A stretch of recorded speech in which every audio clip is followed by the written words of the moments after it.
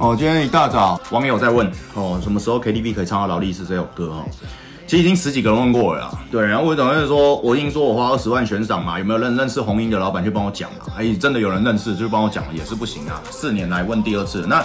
他就说年轻人的传唱里面不够多嘛，我跟托伊斯一样聪明，能当老板的人都一样嘛，山不转路转，我马上说那不然二十万也不用，我直接发十万，再一个抽奖，谁帮我去把写信把扬声红音灌爆信箱，拜拜托到他上我为止嘛，那但不能这样做嘛，你看史泰龙以前也是没人理他，怎么办？只能拍 A 片嘛，那个枪战砰砰砰砰砰，对啊，但他就只能去拍 A 片，因为他要吃饭啊，人也要吃饭，所以我平常也是在卖珠宝，我主要就是在卖钻石，劳力士钻石，做歌只能当兴趣而已啊，每半一块钱都赚不到啊，当什么本业？本尼老师啊？为什么年轻人打不进去？就是因为我我做的歌比较偏嘻哈饶舌，我又不够坏，你懂吗？像上次有弟弟来我这里，他就跟我说，他拿开山刀把人砍死了，坐牢，然后再出来，现在变饶舌歌手这样。我说哦，好厉害。